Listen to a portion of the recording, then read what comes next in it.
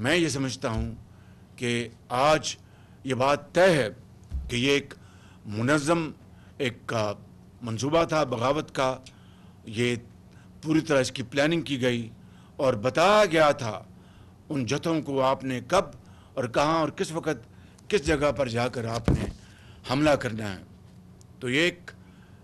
मुनज़म जो साजिश, ये सिर्फ़ यही नहीं थी कि शहदा को, हीरोज़ को इदारों को उनकी बेतौकीरी की जाए, बल्कि ये बगावत थी इदारों के ख़िलाफ़, ये बगावत थी पाकिस्तान के ख़िलाफ़। ये एक साजिश थी मुनज़म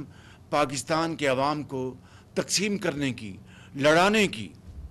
और मैं समझता हूँ कि इससे ज़्यादा और कोई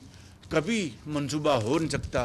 कि जिस तरह मैंने अभी कहा कि दुश्मन ने एक मरतबा नहीं एक से ज़्यादा मरतबा कोशिश की, पाकिस्तान को उलझाने की। हर मरतबा अल्लाह ताला के फजल करम से, पाकिस्तान के अवाम की की दुआओं और उनकी इतिहाद और यकजहती और अफवाज पाकिस्तान की एक एक अजीम तरबियत और उनके बेहतरीन परफॉर्मेंस के नतीजे में हर मरतबा दुश्मन को मुँह की कहानी पड़ी, उसके दांत खट्टे हुए। मैं समझता हूँ कि आज जो मुल्क गिर जो एक एक मुनज़म एक एक तशहर की जा रही है सोशल मीडिया पर, पाकिस्तान से बाहर जो फॉरेन फंडिंग के जो ताने बाने मिलते हैं और उसके ज़रिए पाकिस्तान से बाहर जो पाकिस्तान के इदारों की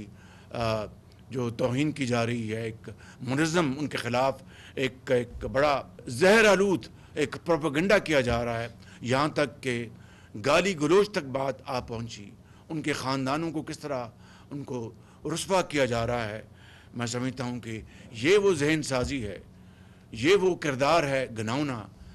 जिसने पाकिस्तान के अंदर इस तरह की तकसीम को इस नहज पर पहुँचाया है। और मैं समझता हूँ कि ये मुल्क दुश्मन अनासर एक दोस्त नुमा एक लबादे में, एक हमदर्द के लबादे में बदतरीन दुश्मनी का ये मुजाहरा कर रहे हैं। और पाकिस्तान की माशी शारक काटने के लिए खतूत लिखवाए गए और पुतले जलाए गए और आईएमएफ को और वर्ल्ड बैंक को क्या क्या कुछ वहाँ पर खतूत के ज़रिए और वहाँ पर उनके साथ जो मुलाकातों के ज़रिए नहीं कहा गया। और फॉरेन फंडिंग के ज़रिए पाकिस्तान के अंदर भी और दुनिया के आम तरीन मराकज़ में पाकिस्तान के ख़िलाफ़ किस तरह लॉबिंग की गई, ये है वो एक मकरूह किरदार और चेहरे जो आज पूरी कौम के सामने आ चुके हैं। मैं समझता हूँ कि नौ मई का असल मकसद पाकिस्तान में जमहूरीत का ख़ात्मा, आइन को खुदा न खासा दफन करना और फ़र्द वाहिद की बादशाही और डिक्टेटरशिप का क्याम अमल में लाने का